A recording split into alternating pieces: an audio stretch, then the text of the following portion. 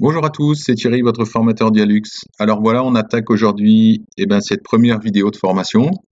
On va commencer par les bases de Dialux et on va voir pour commencer un projet, euh, d'abord quelques menus et options de configuration du logiciel.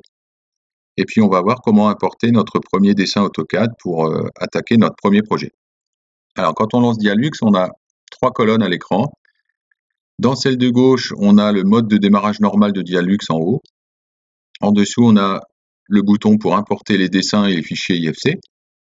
Ensuite, on a deux options pour euh, démarrer Dialux en mode simplifié et une option pour l'éclairage routier. Au centre, on retrouve tous les projets qu'on a déjà fait dans le passé, donc on peut rappeler euh, plus rapidement. Et à droite, on a un accès direct au catalogue des fabricants dont on a parlé dans la vidéo d'avant. On a un accès direct au forum des utilisateurs de Dialux et on a l'accès au manuel utilisateur du logiciel.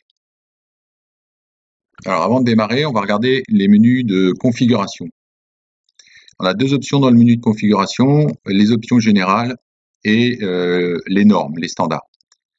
Donc dans le menu configuration générale, les trois cases du haut, on va s'intéresser à celle-là pour l'instant.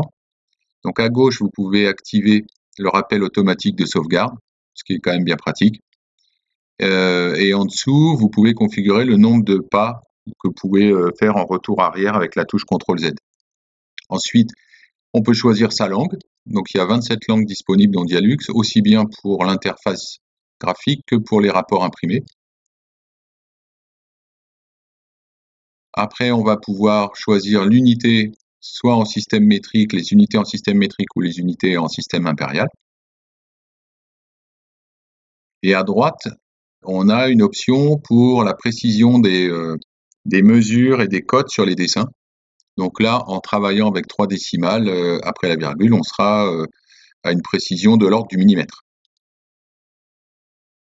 Ensuite, l'autre menu qui est très important euh, dans Dialux au niveau des configurations, c'est la partie standard, donc les normes. Quand on démarre Dialux par défaut, on est toujours en norme européenne, mais vous pouvez basculer sur la norme États-Unis si vous le souhaitez. Quand on se met sur la norme européenne, donc ça fait rappel à la norme 12464 1 pour être précis. Et donc quand on choisit cette norme-là, automatiquement, toutes les valeurs à l'intérieur du logiciel pour les différents profils et les différents types de bâtiments sont automatiquement chargées dans le logiciel et deviennent votre référence pour travailler.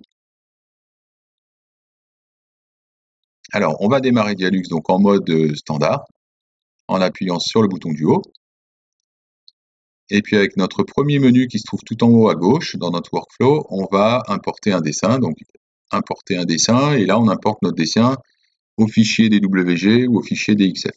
Donc voilà, donc le dessin apparaît après sur mon écran. Je peux me déplacer en appuyant sur la, la roue de ma souris. Donc utilise toujours une souris euh, avec une roue sur laquelle on peut cliquer. Je peux zoomer avec cette même roue. Zoomer, dézoomer. Et alors première chose importante à faire, c'est de vérifier que votre dessin est bien à l'échelle. Dans la plupart des cas, c'est bon, mais ça peut arriver que votre dessin ne soit pas à l'échelle. Donc là, on voit avec les mesures, les règles sur les côtés que ça a l'air correct. Mais vérifiez toujours ça avant de commencer votre travail, sinon vous serez obligé de tout refaire si vous travaillez avec une mauvaise échelle. Donc si vous avez un doute, vous utilisez la règle de mesure et en suivant une, des codes qui se trouvent sur les dessins, eh bien, vous pouvez vérifier. Là, on voit que euh, la distance qui s'affiche correspond à ce qu'il y a sur les dessins, donc je sais que je travaille avec la bonne échelle.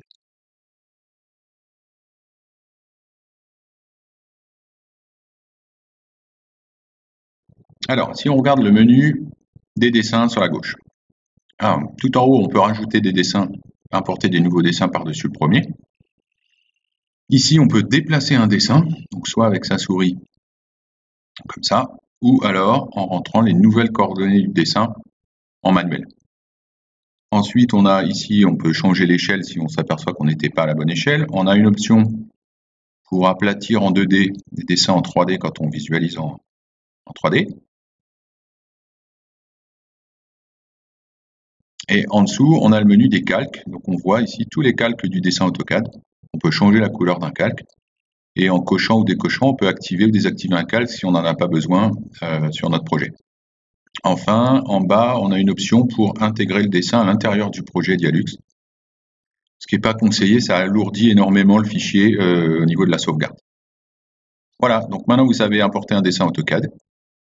Euh, c'est donc tout pour aujourd'hui et je vous retrouve très vite puis on va commencer à construire notre bâtiment dans la prochaine vidéo. À bientôt